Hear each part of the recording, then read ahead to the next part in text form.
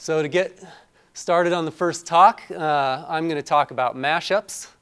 My name is Dylan Kuhn. I am a freelance WordPress developer, and I came to WordPress uh, really wanting to mash it up from the very start. And uh, I loved maps. I had kind of a blog website. It was uh, 2004, 2005, and I really was excited by the idea of combining those two things. And I've been doing that for myself and for clients uh, in one capacity or another ever since then.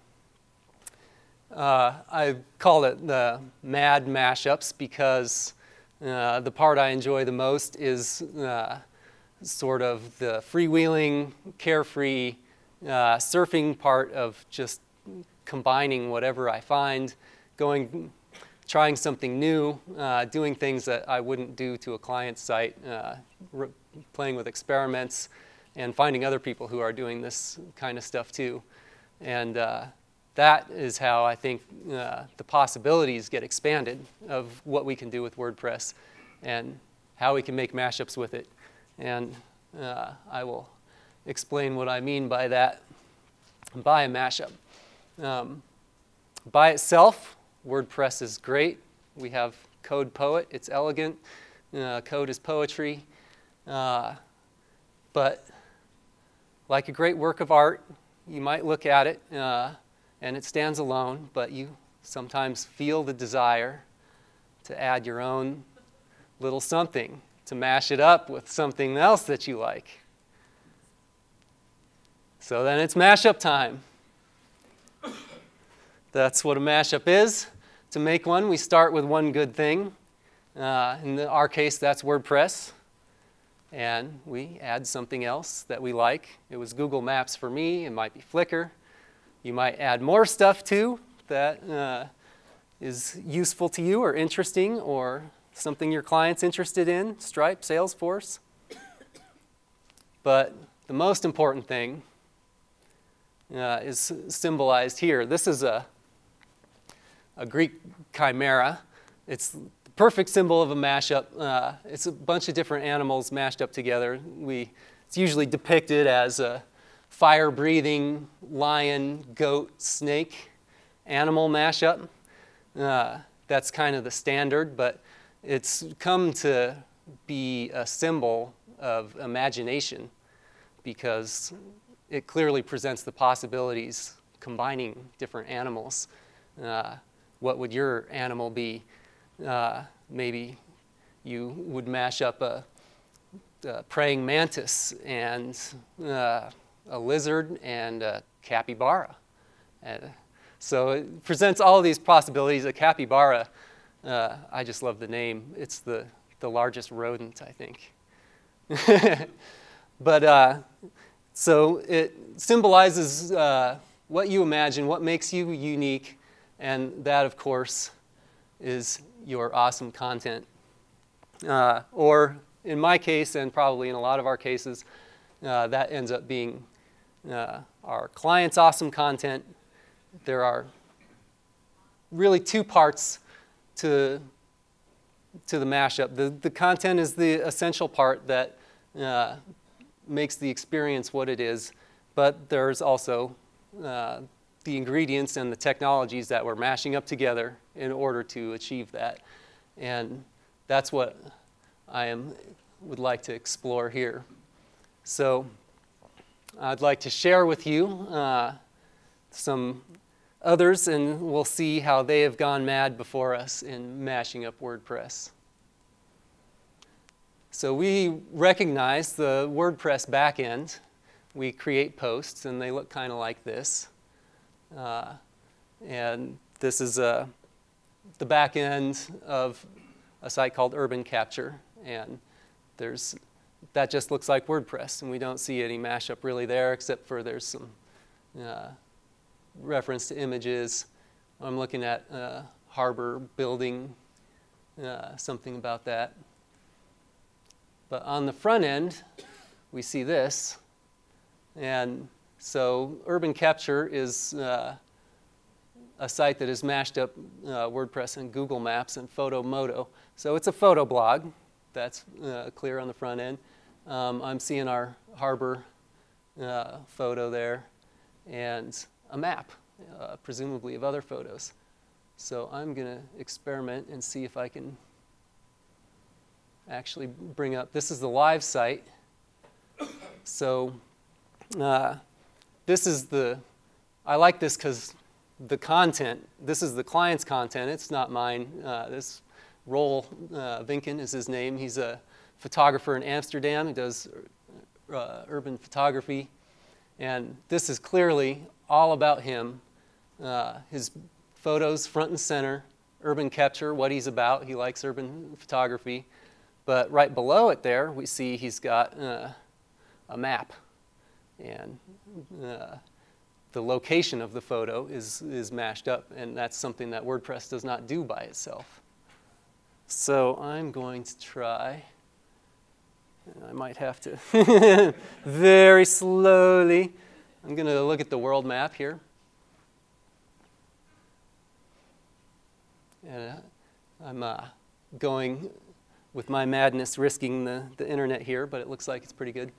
Um, so here we have uh, an idea of all the places where he's, uh, he's done photographs.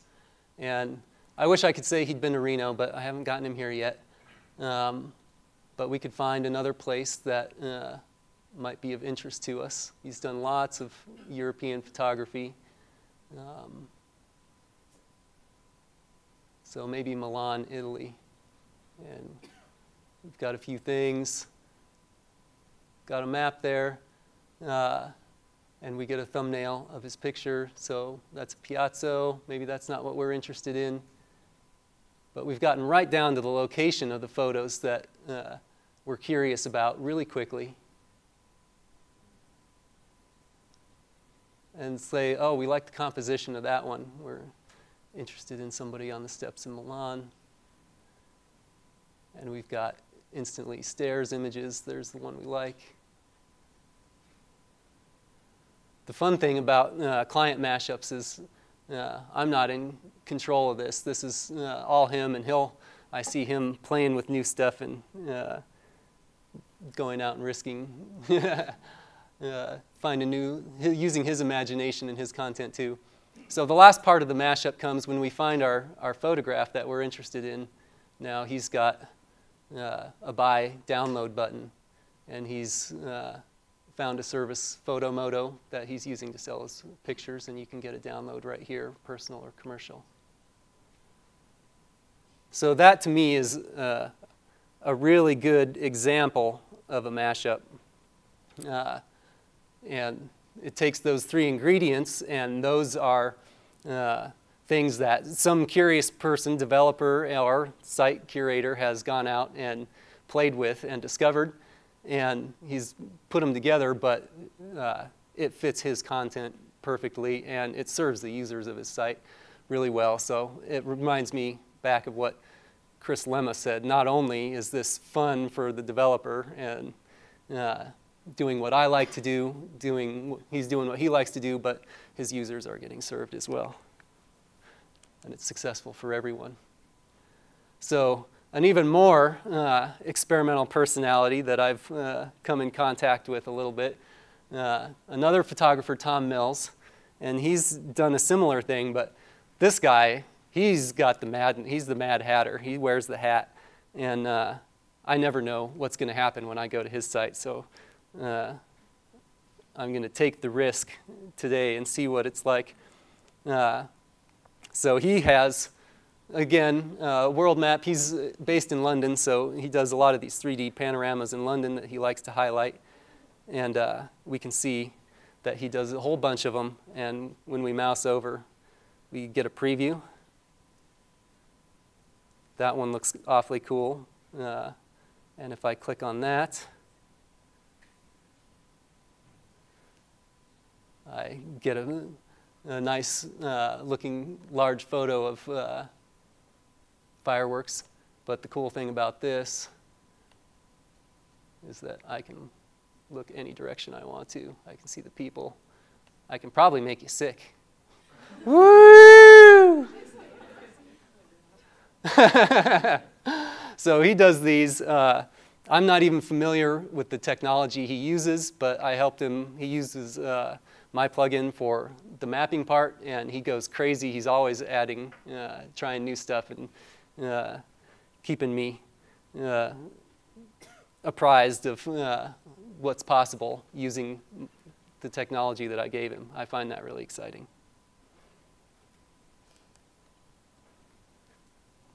So of course, it's not just about photos. Uh, they make good content example. But anything you can create uh, with WordPress, you're going to be able to mash it up with something else that uh, enhances it and works for you and your users. So uh, yesterday, Natalie MacLees beat me to uh, the punch here with her awesome uh, mashup presentation. But this as well, very presentation is we're looking at a WordPress site here. This is a WordPress mashup. Um, it uses uh, impress.js, a JavaScript library. And here we see a little screenshot of the back end. This is the very slide we're looking at in this very presentation. Uh, and again, I hope maybe I'm eating my own tail and doing loops and uh, surprising us here. So where does this all end once we swallow our own tail? It doesn't end, of course. Uh, there's always new ingredients to try. Um, and what are those ingredients? What uh, determines uh, what we can mash WordPress up with? Um, and it boils down to anything with an API. Uh, that's an application programming interface. I'm sure most of us know that term by now.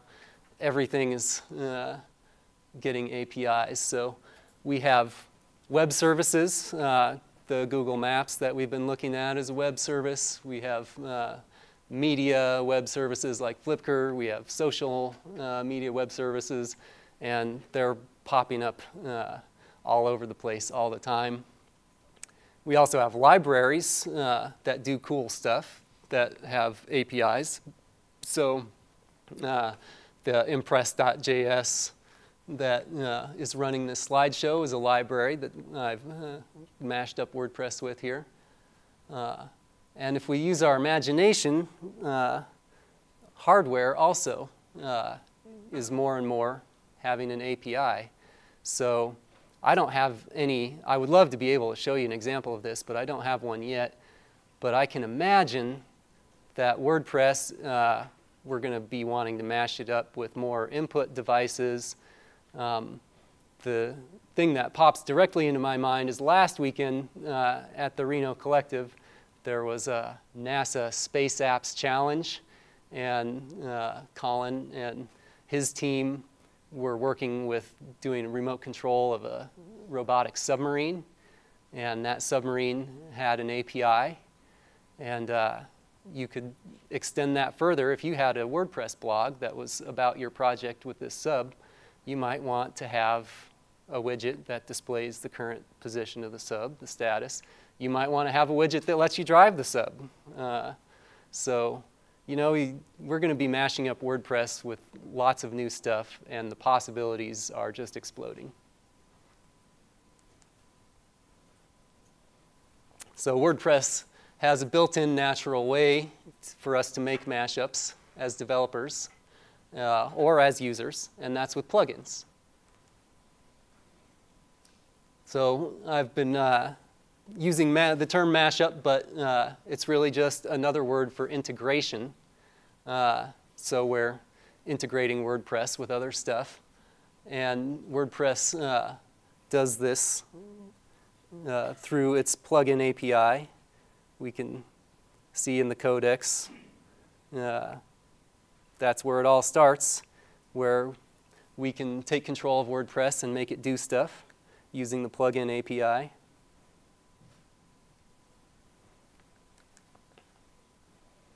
So uh, the interesting thing as we uh, get excited and go out there to discover uh, what's going on, what the plugins are that will do mashups for us, uh, if we search the the WordPress plugin repository. These are all open source for the word integration.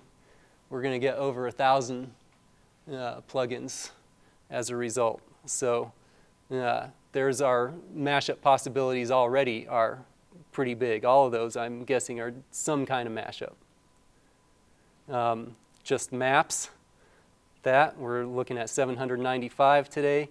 That is up quite a bit just since I wrote the presentation. Payment, 454. Uh, some of them are tagged. Uh, Twitter, we can see along here, 1275. Google, 1269. So uh, we are down the mashup rabbit hole for sure. And uh, as developers, we are going to make lots more. And a lot of what we're doing is going to be mashing stuff up. And uh, some of the plugin examples we've seen so far is uh, GeoMashup. That's my mapping plugin. There's, as you've seen, many others. Uh, Photomoto for that uh, photo service. And this one uh, that's running this presentation is 3D presentation. Uh, I didn't write this, but uh, somebody uh, made a, the plugin, wrote the software to glue together the impress.js library with WordPress. And then I used that to create this presentation. So in that case, he did the programming and I did the content. And that's uh, how a lot of the, the teamwork works these days. Uh, before I get to this, uh, there was one thing. yeah. Uh, I've heard a lot of developers sort of lament that uh, it's, our work is boiling down to gluing together APIs. And uh, I guess some people think that's not programming or that that's kind of sad. There's a sense of loss there somehow. I don't feel this. I'm, uh, I get really excited by APIs. I think that there's as much variety in the creation and the use of APIs as in any other kind of programming. And uh, I'll go, I'll cruise APIs. Like uh, the sites that I like and use, uh, I'll kind of say, oh, that's, that site's okay, but uh, let's look, see if it's got an API. Ooh, did you see the API on that site? He's like, I'd call that. Uh, and I, I, I know it's going to call me back. So, you know, discovering APIs, using them, creating them, uh, it's, it's an art. Uh, they can be beautiful, they can be ugly. A lot of sites will take a stab at it, and uh, I don't know if I'll have time, but uh, I'll show you one. I'll discover sometimes sites that used to have an API that they sort of covertly support, but don't anymore because they've discovered it's going to take two or three tries to really get this right. And when you see the services that are offered through an API, then uh, you get a feeling, uh, you can get excited about it or uh, immediately see problems. Sometimes you might not see the problems till you use it. But uh, in any case, there's lots of room for creativity and improvement and exciting developments there. All right, so another couple of examples. Um, I found a library, and this is just me fun. Uh, I doubt this is going to make any of my clients any money, but uh, just for my play, uh, discovering how there might be something in, in a mashup like Asteroids or a library like Asteroids.js that's doing something useful uh, or interesting that I might be able to put to work in another way sometime. So it's fuel for the imagination. But this uh, is a JavaScript library. Just some nice uh, JavaScript code somebody with a good sense of fun wrote. And uh, there's a plugin called Asteroids Widget. And so that uh, mashes up WordPress with asteroids.js. And the result we can see a screenshot here, is uh, mayhem. And we'll try to see if I can. Uh, come on.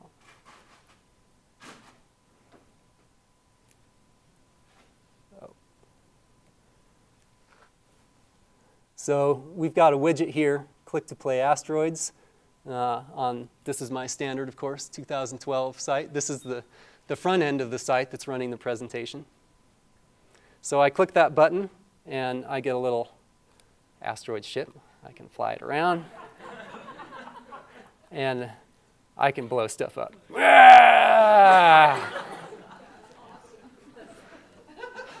now, if that doesn't make money for somebody, it, it's worth. It's it has to exist, you know. We've got to play. So, uh, asteroids mashup. So we can get really excited about this and go crazy and uh, find a mashup for any new concept that we got uh, introduced to. Uh, I wanted just to do a quick uh, look at Bitcoin because I heard a really interesting talk about Bitcoin the other day. So I looked for uh, mashups of WordPress with Bitcoin. Here's this service. It's hard to, uh, it's for generating Bitcoins. Uh, not too clear what it does. I dug around for it a little bit. Uh, couldn't find anywhere clear that there were terms or, uh, so I looked at the plugin and you know, there's a clue. a couple of one-star reviews, ratings, but I always look at the reviews because uh, my plugin's got a bunch of one stars and they're all anonymous. I don't know how they came or what the problem was. And so there's no uh, actual complaint here. Uh, so the next thing I do is look at the support. Oh, there's, you know, it might not be true. Maybe it's not a scam. Maybe it's not fraudulent. But in any case, uh, my madness only extends so far. I think I'll pass on this one. But uh, the idea of uh, Bitcoin mashup, WordPress, WordPress mashup, I think that's still wide open. Somebody's uh, going to do it, do it right. Maybe this is it, and, uh, and it will recover. But plugins aren't the only way uh, that we can do mashup. Apps uh, will, are out there that mash up WordPress for us already. They'll use, uh, often the WordPress comes natively with uh, an API that lets you control it from the outside, the XML RPC API. Uh, and there's also plugins that are, will provide alternative Word APIs for WordPress, so you can control it from another app.